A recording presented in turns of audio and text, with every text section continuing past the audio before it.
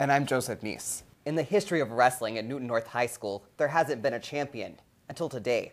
Alex Pressburg caught up with the wrestling champ and his coach about his wrestling career and what the future holds for him now. Every year on February 19th, cities and towns across the nation remember Iwo Jima Day.